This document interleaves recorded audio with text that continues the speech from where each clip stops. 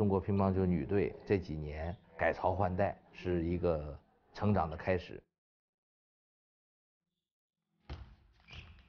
在大家可能觉得我该成长起来的时候，我并没有成长起来。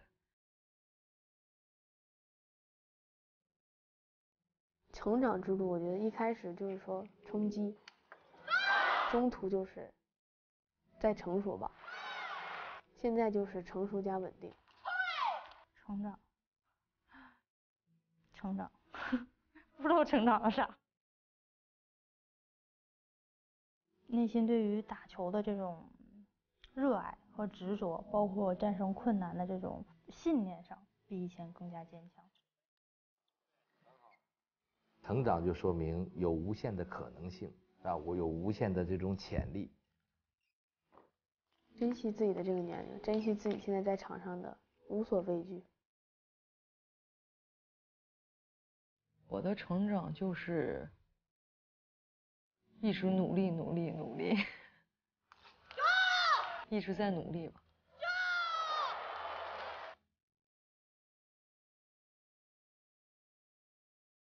我其实每天都在跟自己打架，信念其实就是奥运会。从我当教练第一天起，就奔着金牌去的。我特别相信这支球队，特别相信现在的这些运动员。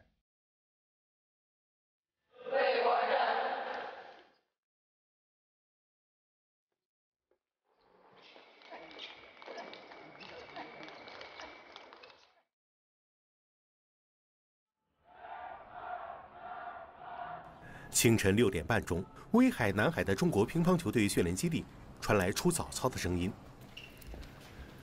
当大部分队友还在睡梦中时，混双组的队员们已经集合，准备晨跑。你好，报数。好，三、四、五、六、七、八、九。走吧。今天的晨练，刘诗雯没有和大家一起跑步，而是在教练马林的陪伴下走向了球馆。半梦半醒。醒了醒了，习惯了。前两天有跑步，我这两天想发一下球。平常发球感觉没时间练，练不完计划。混双的比赛都是上午，很早，一般都十点左右比赛。但是要从村里走的话，可能就要六点半。我们现在每天都六点半早上就要出操。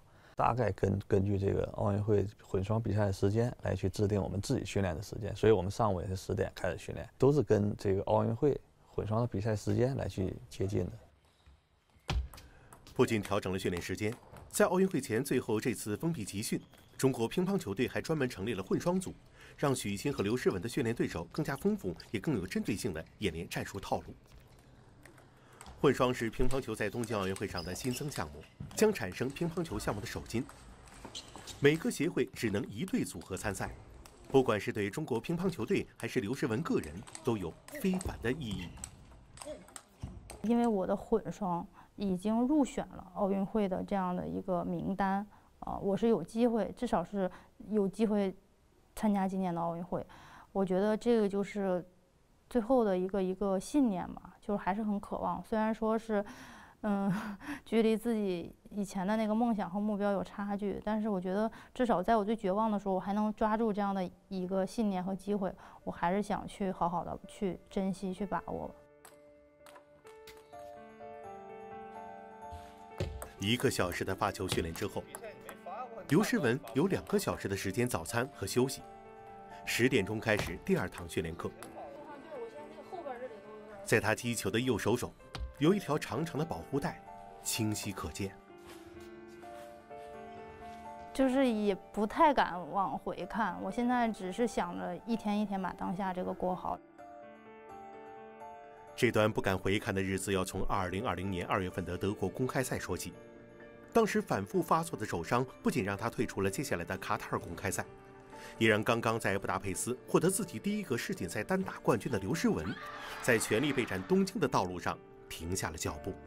不能害怕吧，就是绝望过吧。如果我想参加这届奥运会的话，我只能选择去做手术，在最最短的时间，然后去康复，然后，呃，再去重新去参与竞争，然后去参加奥运会。同样按下暂停键的，还有因为疫情而延期的东京奥运会。早在2020年大年初二就前往德国参赛的中国乒乓球队，也因为疫情辗转德国、卡塔尔、中国澳门，经历了长达半年的海外集训。在新冠疫情这样的情况下，唯独的就是改变和应变。然后那会儿《流浪地球》，当时我就提出了这个八个字嘛：安全、健康、备战、比赛。安全第一，第二是健康。在这两个保证的情况下，我们就不停地在备战。备战第四个才是走到了比赛。在漫长的集训期和全球赛事的停摆之后，国际乒联女子世界杯在威海开赛。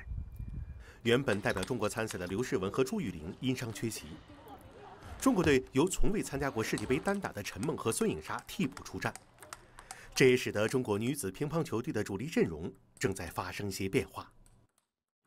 有点像当时两千年奥运会的时候，都是王楠啊、李菊啊、杨颖这些没有参加过奥运会的人去承担这个任务，在这个时候总得有人站出来，是吧？就是现在就是关键看这两个人谁能把握好机会。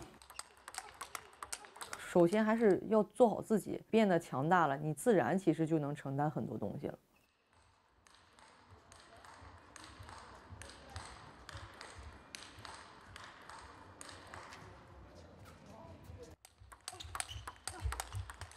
自己内心中也是告诉自己，你肯定要把这个排名积分要打上去嘛。去年的生日是在世界杯团体，今年是世界杯单打。我觉得每一年都都在努力中。从2017年进入国家一队开始，孙颖莎每一年都在稳步成长。特别是2019年，先是在布达佩斯第一次参加世乒赛，不仅赢得了与中国队最大对手伊藤美诚之间的青春对决，她还在女双比赛中与王曼玉搭档，获得了自己的第一个世界冠军。漂亮！随后，孙颖莎在三站白金赛夺冠，成为了2019年全年胜率最高的女单选手。2020年8月的国内赛场，孙颖莎继续闪光。在中国队的奥运模拟赛场，她一人囊括女单、混双和女团三项冠军，成为东京奥运会的热门人选。会随着慢慢的自己也成长起来，其实对我要求要参加比赛任务啊，其实都会不一样。这次比赛，孙颖莎的房间里多了一个陪伴她的小伙伴，他叫山丘。给他起名字。啊，包上有一个，好可爱。这个比赛陪着，这晚上睡觉陪着，可爱，比我还可爱来着，太可爱。我现在最近我也在看一本书，看的什么？夜月黑，星星越闪耀。以前排球运动员赵蕊蕊写的，它里边写的挺都是那种运动员，一看运动员激励的话。来之前肯定也有一些紧张，毕竟第自己第一次打，主要对手其实也都来了，互相之间都练点什么，在场上发生什么，其实都是未知的。所以说，其实自己对自己还是多少有一些担忧吧。孙颖莎的主要对手也是中国女队最强劲的对手，是同样只有二十岁、来自日本的伊藤美诚。近年来，他的排名稳居世界前三，曾击败过除陈梦以外的所有国乒现役世界冠军。这两位中日乒坛的未来之星，在世界杯单打的半决赛上迎来了第一次对决。这个年龄阶段，其实互相也，其实说实话都在关注着对方。我们现在我觉得也没有说跟伊藤就是说差距特别大，因为他现在的实力，包括他的特点，我觉得确实也非常优秀吧。这碰见这样的对手，是吧？这是你一直准备的，啊，练了七八个月了，你不就等他这场球呢吗？对吧？哎，所以你就看看这七八个月自己练的顺不顺，是吧？对不对准？你跟伊藤其实你们也是十年的对手，其实你有这样的对手，其实说实话一直能激励着你，其实都挺好的。小さい頃からこういうふうに切磋琢磨してあのこれてこういうふうにスンシャ選手があのやっぱ頑張ることで私自身も頑張ろうっていうふうに思うので。一定要把它拼下来，就这种感觉，一定要把它打赢，千万不要侥幸， 拜拜拜拜加油啊拜拜拜拜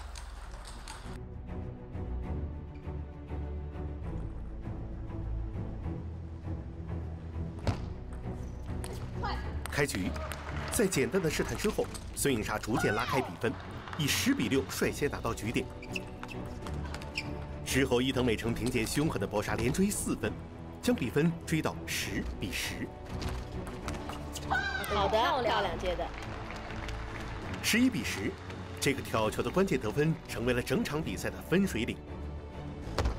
十二比十，孙颖莎赢下第一局。之前离职训练中老让我练跳，但我老跟他说，比赛中可能我这个技术用的少，没有说真正的意识到我必须要练好。但是他就说，你练这个球，总总有一场比赛你用到一个这个球，就是你你你你的东西了。取得开局胜利之后，孙颖莎保持状态，连赢两局，大比分三比零领先。あの逆に0対3だったから自分はちょっとこうなんていうんですかリラックスしてって思い切ってできたんで。嗯，小心，这个是伊藤的特点啊！一到落后的时候呢，就发力比较多，所以我们就要更要小心。第四局双方一直紧咬比分，伊藤美诚开启了更积极的反击，以十二比十扳回一局。 小心哦，搏得很这三个球。第五局，伊藤美诚主动搏杀，孙颖莎零比六落后，最终以四比十一再丢一局。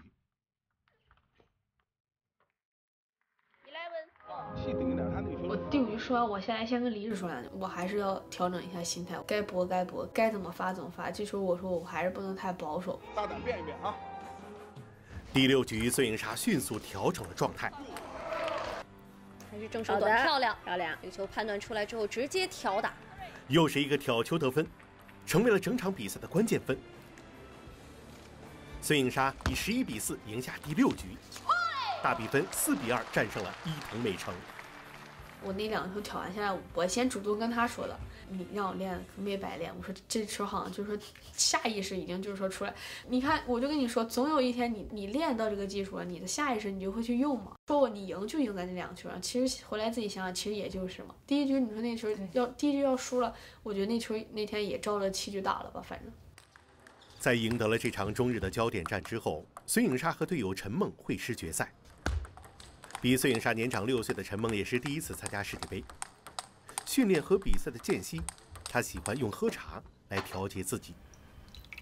我一般自己就我比赛的时候，我就坐在这儿看录像的时候吧，喝那就是喝的时候就，如果要是很专注录像的时候吧，这茶有的时候味道也不对，然后心情可能因为备战的时候也可能会有紧张，然后自己平时假如现在休息的时候在这喝，或看书的时候在这喝。就不会感觉味道就挺好。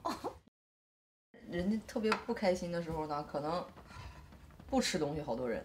但是我不开心的时候，我特别喜欢吃东西。最近特别不开心的时候是什么时候？嗯，奥运模拟赛那会儿吧。二零二零年八月的奥运模拟赛，刚收获疫情前两站公开赛冠军的陈梦。在与王曼玉的较量中，以二比四意外止步于半决赛。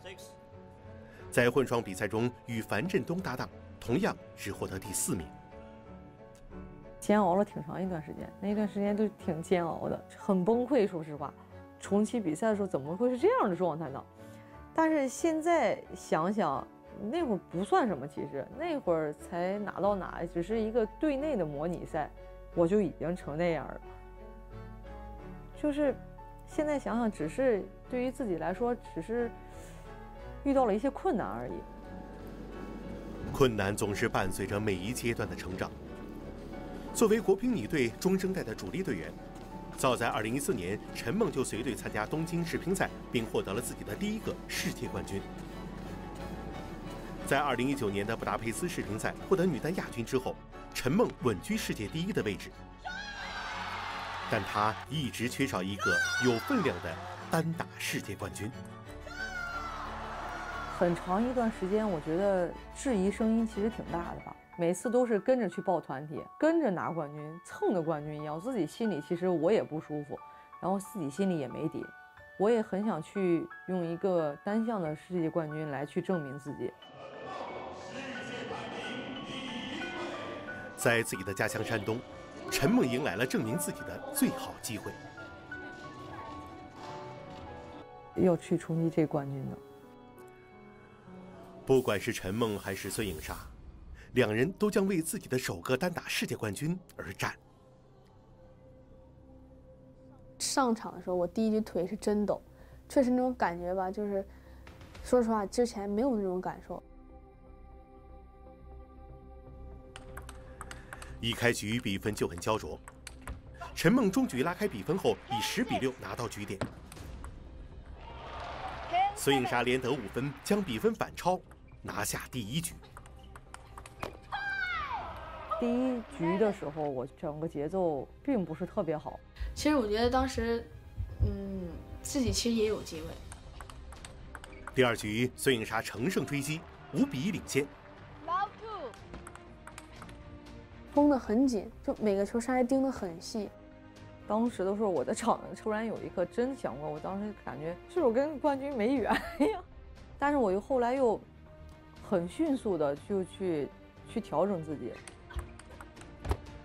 孙颖莎失误增多，陈梦连得六分，将大比分扳成一比一平。对决赛准备啊，包括我在场上应变，我觉得还是稍微，我感觉没有梦姐成熟。自己的整体的状态有起来，而且我感觉到莎莎那会儿时候感觉很沉很闷。随后，陈梦掌控了接下来的比赛，连赢三局，以四比一战胜了孙颖莎，获得了这次世界杯单打冠军。这也是她职业生涯的第一个单打世界冠军。最后一个球赢完了以后，感觉那口气放下来了，就是长叹了一口气。突破战胜了自己，捅破了那层窗户，然后让我自己，我觉得会变得更加坚定。他这个位置，说实话也是拼出来的，来之不易。原来他这些冠军都没拿过，世界杯的含金量不可能像世锦赛、奥运会这样。但是我觉得，因为对于每个人内心来讲，他都是突破。在之前，东京对我来说很模糊吧，觉得前面都是人，所以那会儿对自己我感觉是飘忽不定的吧。通往东京的路还是会有遇到很多的困难，在经历困难以后，一定会能见到彩虹。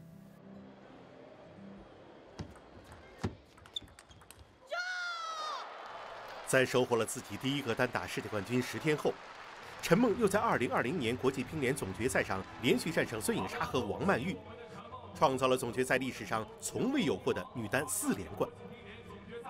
在通往东京的道路上，又向前迈进了一步。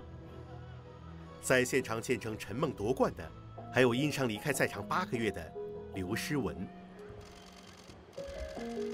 当时还是觉得很羡慕。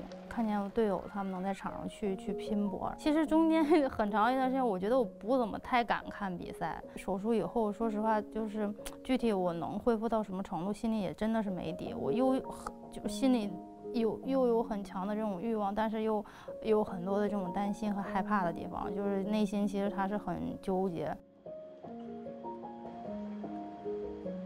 拖队了半年多，我觉得。我我当时就想，我是如果再能拿起球拍，我一定好好珍惜。做完手术半年之后，刘诗雯归队恢复训练。元宵节快乐！手术后的肘部还需要胶带进行保护。随着奥运会的临近，刘诗雯要尽快恢复自己的状态。回到队伍以后，一看到大家以后，刚开始有点害怕，但逐渐融入以后，又觉得跟大家聊聊球，哎，又很开心，就很渴望回到集体。还是上了球台以后，感觉最开心，就感觉很长时间没有那么，就是感觉开心快乐，然后很专注投入的那个感觉了。五秒。再次拿起球拍的开心是短暂的。恢复的过程是每一天与自己的斗争。练好的时候，或者说跟自己想的一样的时候，就就挺开心。但是练完一有反应，比如说有有点疼了，就是这种还是担心啊会受伤啊，不知道自己这个能力啊、力量啊能不能恢复到，就是每天都要面对这个疼，就是真的是咬牙坚持那种。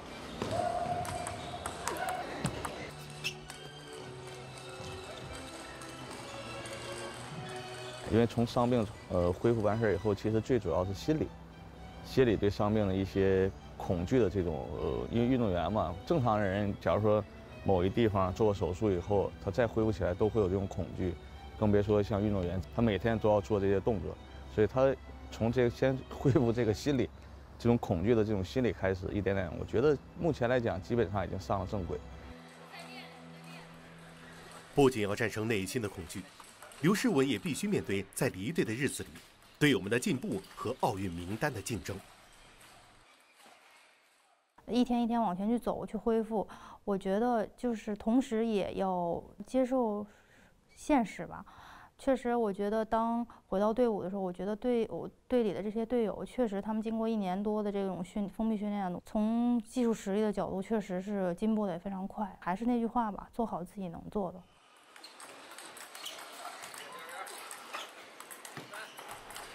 在逐渐跟上了大家的训练量之后，刘诗雯也恢复了和搭档许昕的混双训练。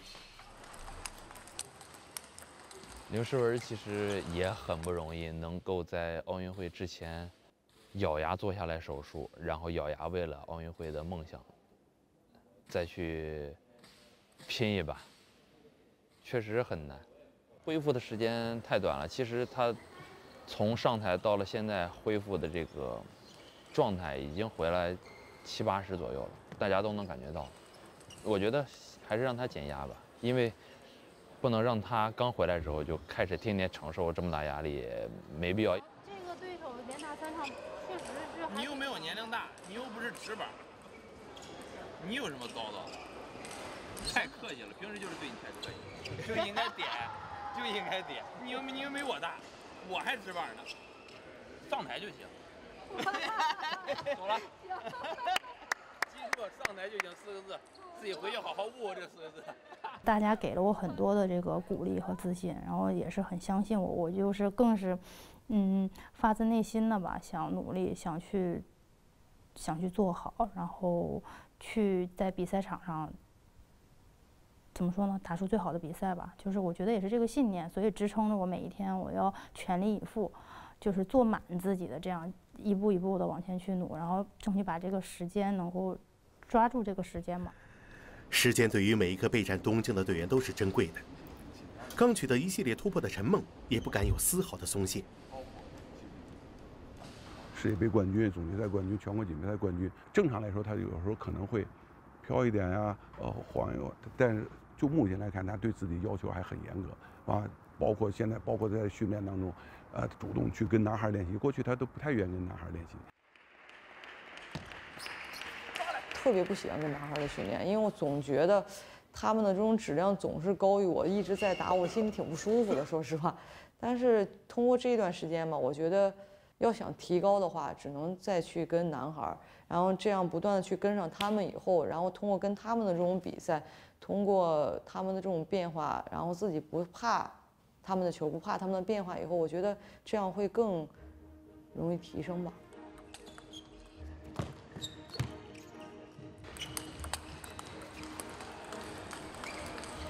提升的过程并不容易，男队员球的质量高变化快，会消耗更多的精力体力，但也因此陈梦有了不少收获。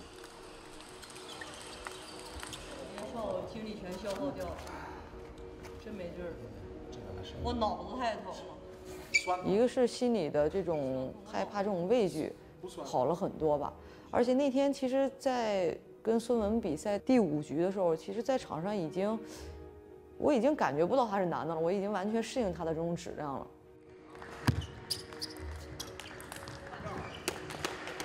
在场上的这种整个的这种强强的这种对抗，我再没有再去这种躲、再去害怕的这种感觉。陈梦和这个孙颖莎呢，应该说，到了一个比较难受的一个一个阶段，越离比赛越近，她可能自己那种压力可能会更大。刚刚二十岁的孙颖莎，需要在通往东京的压力中加快成长的脚步。有一点浮躁吧，心情上我估计肯定也有一些起伏。离着他可能感觉哎有点不太对劲儿，他上去需要跟我。把这个节奏啊、情绪啊捋得顺一些，但我觉得他跟我说完，我其实感觉就好一些了。然后我人啊什么的感觉静了很多。真正奥运会赛场需要你要有这要有这意识，是吧？咱也别说。你觉得这个球我应该稳吗？莎莎最主要的还是一个真正从她内心深处，我要去干这件大事。她最主要的现在要平时落实在每一板训练上，也是一个挑战啊，也是他能不能站在奥运赛场上完成任务的一个非常关键的一个点。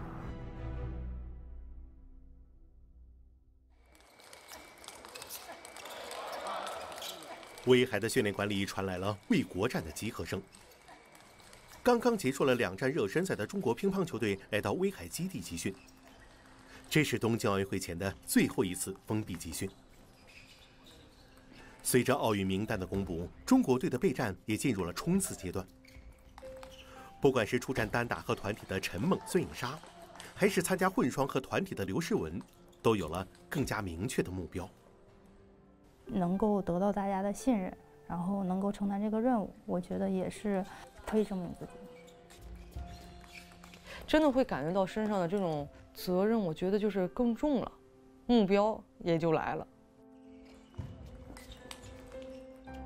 确实感觉动力十足，肯定有压力，这都很正常。但我感觉更多的感觉动力还是挺多的。哎，这就舒服了。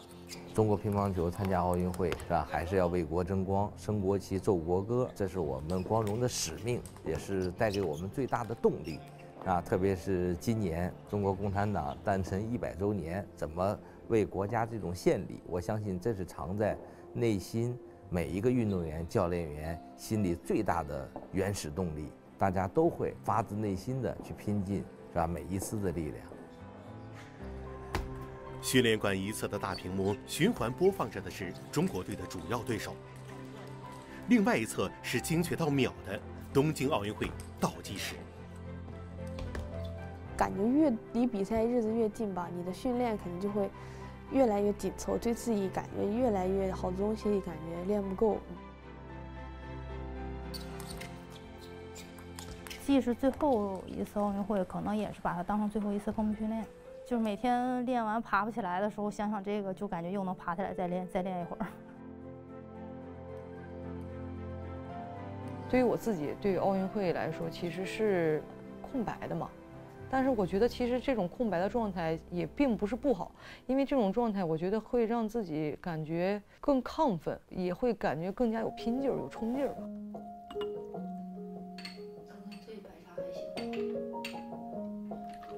这就是我们俩平时训练完的日常。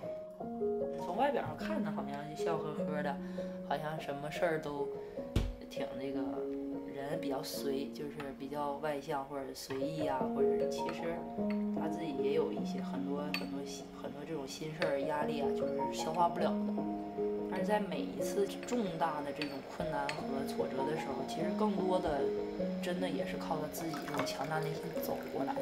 我我感觉他自己可以创造出更大的这种可能性，放开了豁出去去干，相信你一定会在东京圆梦，加油！在大家可能觉得我该成长起来的时候，我并没有成长起来，反而到了现在这个年纪的时候，让大家慢慢的看到了我的这种进步跟这种成熟。我觉得其实也不晚，因为你有了这种机会的以后，能不能够把握住？我也希望自己能够在东京奥运会把握住。最后紧螺丝的一个阶段，就像一部完整的一部战车一样，所有的零件、所有的这些东西都已经准备好了，蓄势待发。比赛并不是说你努力就一定赢，但就是你努力是你成功的一个好的开始。珍惜自己的这个年龄，珍惜自己现在在场上的无所畏惧。希望在呃东京的赛场上给全世界吧展示出最有激情、最有天赋的自己。